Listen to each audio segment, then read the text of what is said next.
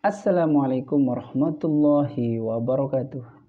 Pada video kali ini kita akan membahas rukun nikah yang keempat yaitu adanya dua orang saksi. Dua orang saksi ini akan kita jelaskan syarat-syaratnya, syarat-syarat menjadi saksi dalam pernikahan. Tapi sebelum kita lanjut pada video kali ini, mohon kepada teman-teman yang belum subscribe dan baru tonton video kami ini, bantu kami dengan cara subscribe dan bagikan video-video kami ini agar kami lebih semangat kembali dalam melanjutkan materi-materi tentang pernikahan. Bagi teman-teman semua, jadi wali, ah, mohon maaf, jadi dua orang saksi ini memiliki beberapa syarat yang harus ia penuhi jika ia ingin dijadikan menjadi seorang saksi dalam pernikahan.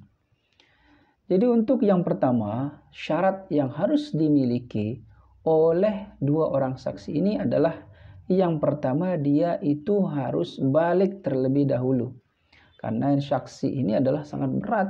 Dia menyaksikan suatu pelaksanaan pernikahan yang dilakukan oleh seorang yang di mana nanti kalau dia ditanya oleh orang lain apakah betul ini terjadi? Maka dia harus menjawabnya sesuai dengan apa yang terjadi.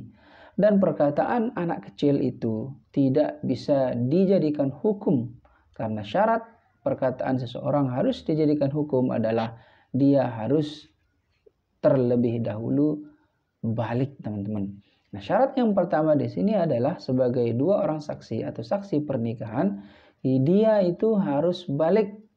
Dia itu sudah dewasa, sudah besar itu orang saksi itu. Kemudian yang kedua, dia itu berakal sehat.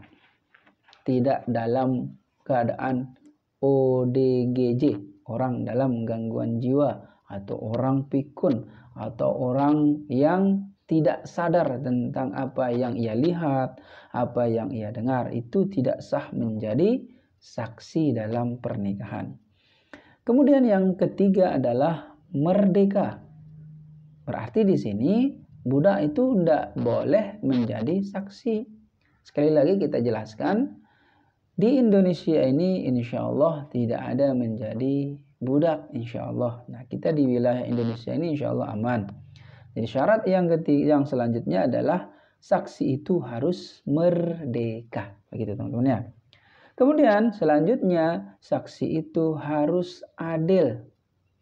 Adil dalam artian dia itu mengatakan apa yang sebenarnya terjadi tidak memilih salah satu. Begitu teman-teman ya.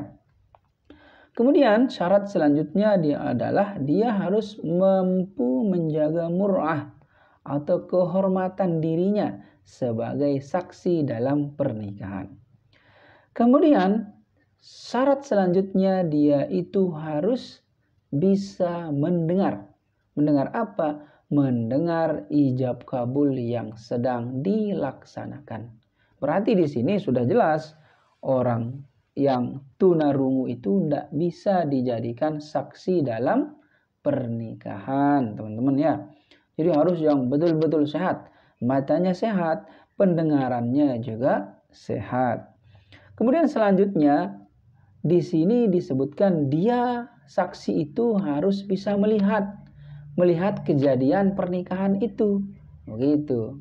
Jadi saksi itu harus bisa melihat gitu. Syarat selanjutnya adalah saksi harus bisa melihat.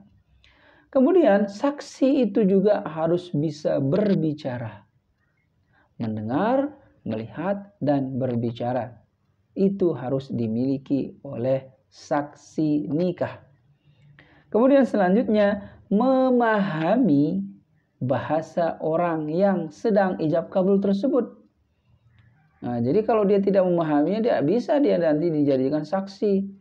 Tidak paham dia begitu. Dia harus paham tentang apa yang diucapkan oleh orang yang sedang ijab kabul. Berarti kalau kita tidak paham dengan bahasa Inggris, paham dengan bahasa Cina, kita tidak boleh jadi saksi. Kita harus paham dulu dengan apa yang mereka ucapkan pada saat ijab kabul. Kemudian selanjutnya dia sedang dalam keadaan sadar. Saksi itu ketika dia menyaksikan pernikahan dia tidak dalam keadaan, keadaan sedang terganggu oleh alkohol atau yang lainnya. Nah, jadi saksi itu harus betul-betul sadar, betul-betul dalam keadaan sadar ketika dia menyaksikan pernikahan tersebut. Agar apa? Agar persaksiannya itu dikatakan sah dan bisa dipertanggungjawabkan.